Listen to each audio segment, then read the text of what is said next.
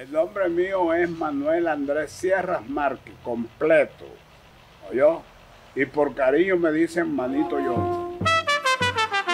¡Vamos! ¡Listo! Este es un homenaje del pueblo pacífico a los juglares que escribieron con letras de oro las páginas que hoy engalanan nuestro folclore.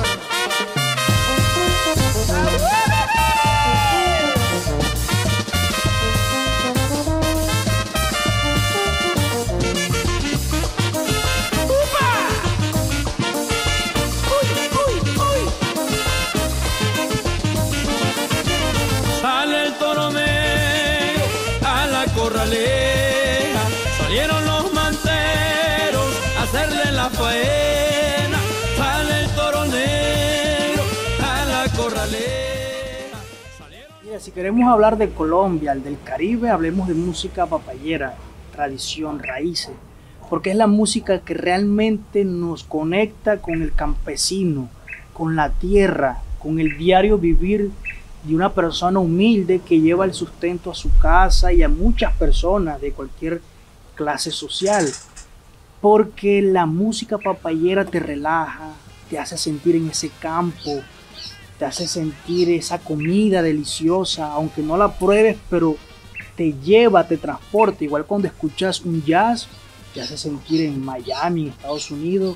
Cuando escuchas música clásica, estás en, Europa cuando escuchas un porro y un fandango, estás en Colombia, en el Caribe colombiano. Tocaba yo las tumbadoras, tocaba batería, tocaba redoblante, toqué colita con todos los acordeoneros de esta región.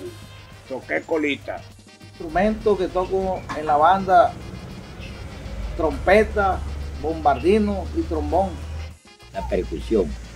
La, la voz principal era mi persona tocando platillo, era platillero, y ahí me pasaba el bombo, siempre cuando tapando con el bombo, con el platillo.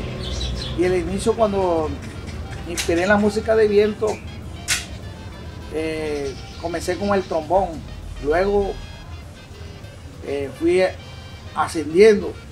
Aunque eso no es remunerable, eh, lo que uno, sino que no, no es remunerable este, músico como músico, la banda papayera, no. La gente, por ejemplo, no, la juventud de ahora no le, no le paran bola a las cosas. Y cuando veníamos rascados que él tiró la vía aquella, yo le dije, Iván, este puente no lo vi yo cuando nosotros veníamos para acá. ¿Cuál puente? Comencemos hablando de Pacho Galán, Lucho Bermúdez y Pedro Laza. Ellos ven que la calidad es la calidad. Cuando uno está tocando, se siente, uno, uno lo que está haciendo lo está haciendo con mucho amor para, interpretárselo al público, a, su gente. Aquí había una banda antes que era de, le decía la, banda de los hermanos Calderones, pero los músicos eran Juan Jerónimo Moñate, Francisco Gutiérrez, César Gutiérrez, Elías Gutiérrez, eh, Miguel Gutiérrez, Luis José Gutiérrez, ¿oyó? Marco Romero, Marco, ¿cómo es? Marcos Pérez. Esa era la música que componía la banda de aquí, ese poco músico. Y los enseñó Ismael Fernández. ¿oyó? Estaba yo muy pequeño, quizás tenía yo algunos 10 años, tenía yo, imagínate. Y a Isma desde cuando no se murió. Que lo conocí bien, yo toqué con Ismael, toqué con Juancho Gil, toqué con, Juan, con Reyes Torres. Yo era el vocalista.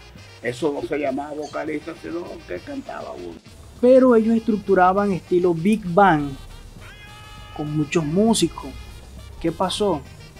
Este, algunos personas querían tener la banda en su casa o eventos, pero la parte presupuestal no era suficiente para contratar a todos los músicos. Por lo tanto, iban haciendo recortes, recortes de presupuesto, ya implementaron el playback, que era poner el, acetato y yo solamente quiero ver a Lucho Bermúdez con el clarinete.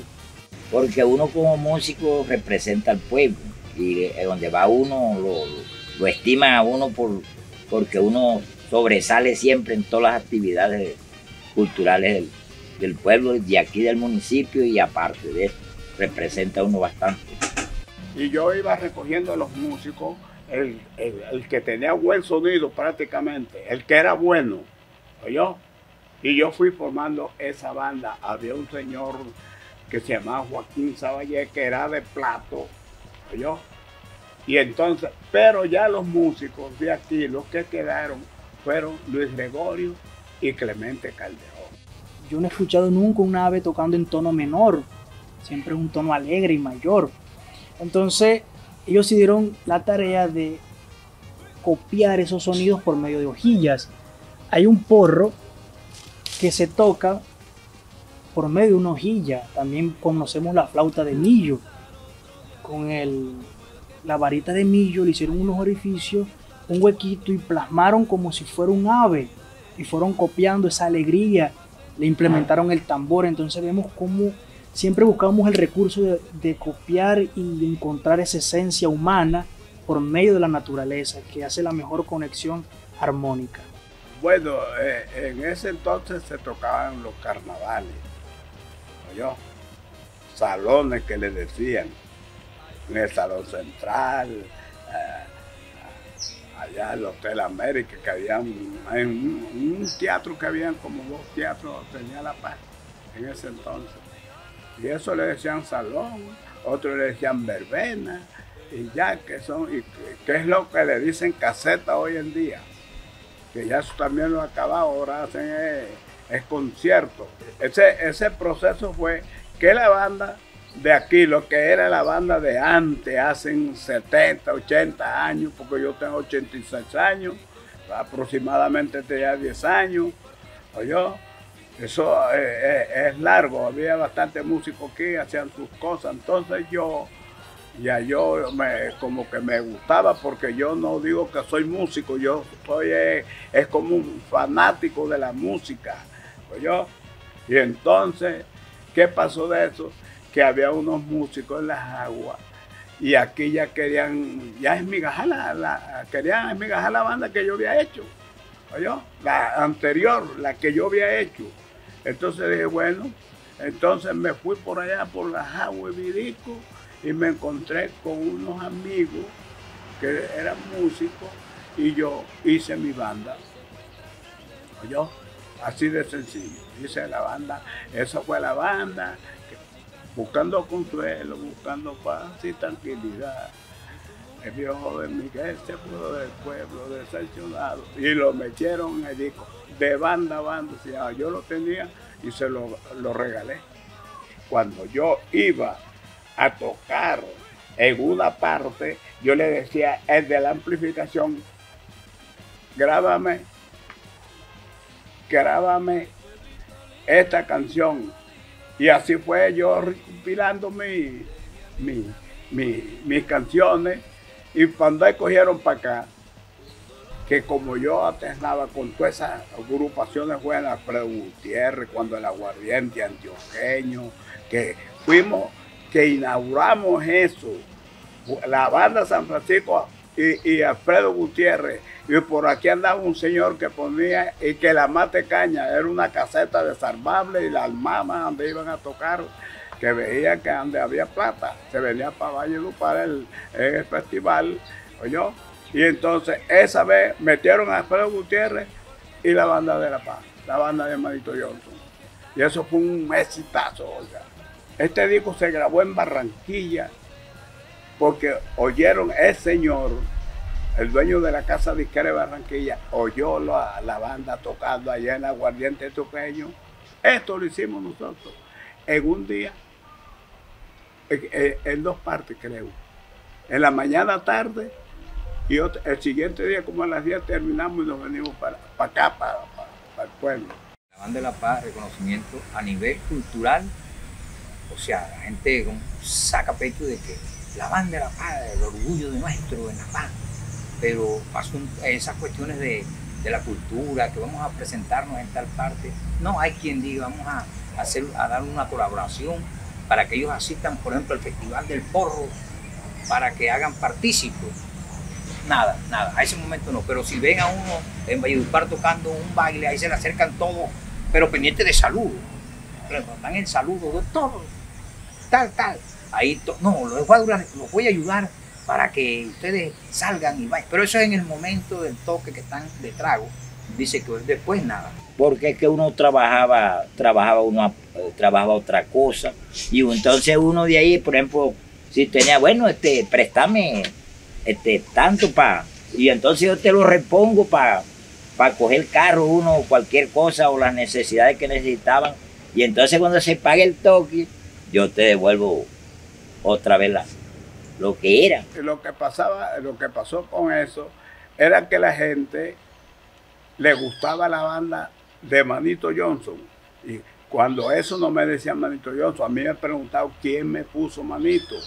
Una vez le pregunté a mi mamá y me dijo que fue la señora Juana Bautista Mieles que me puso Manito, que jugaba conmigo. Manito 1, Manito 2, Manito 3, ¿oyó?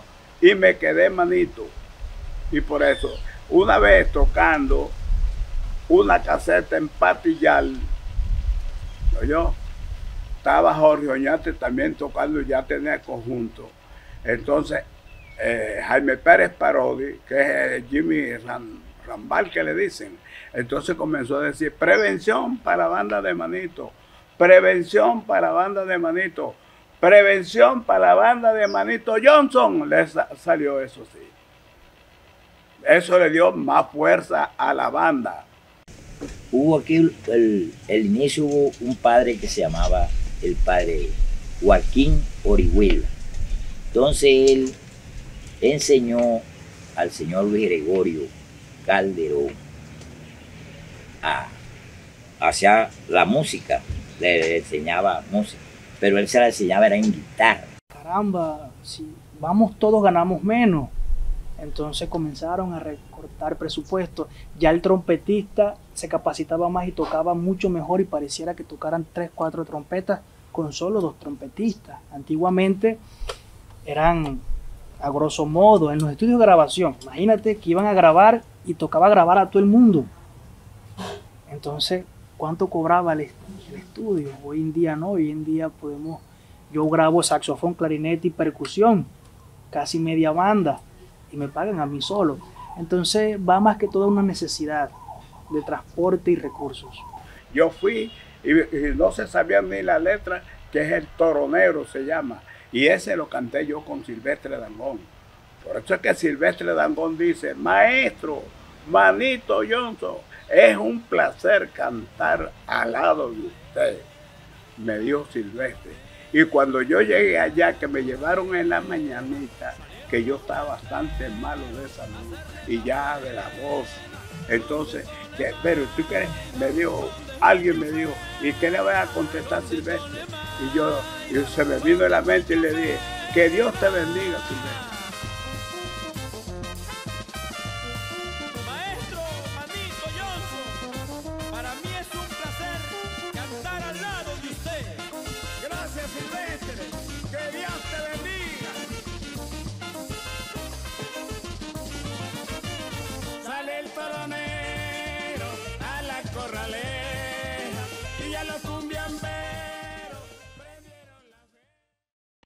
Retírese y le ponen una marca uno hacia adelante, una raya, una vaina que yo corroncho.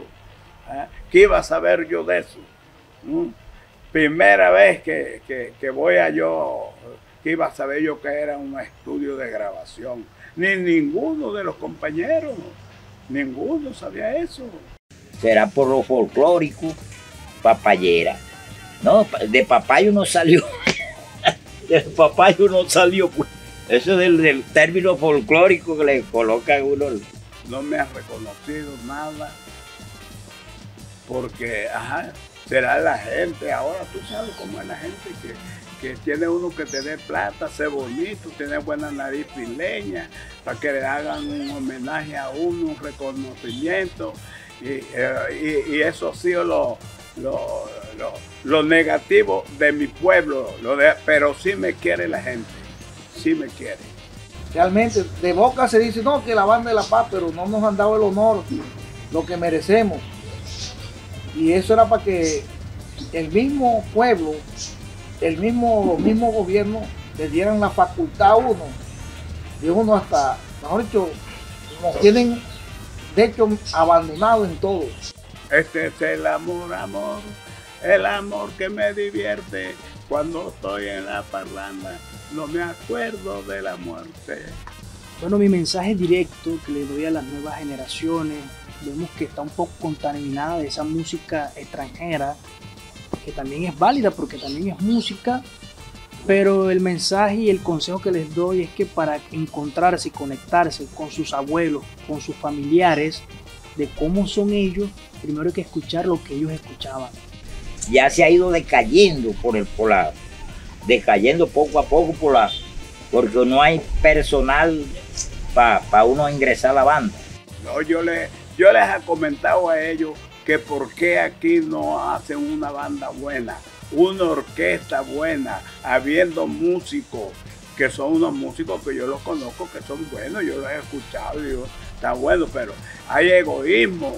El uno se va con los músicos, el otro le dice, vea, yo, uno no puede hacer eso porque si te oye tocando con una trompeta un saxofón, ellos como van ahora tienen que dedicarse bastante a, bastante a eso, los muchachos, porque es que comienzan con la juventud de ahora, o sea, los que están enseñando ahora, ellos comienzan al principio con buena voluntad, pero como se van a estudiar, salen a estudiar y a coger carrera, entonces ellos ven que eso no, no aporta y se van saliendo.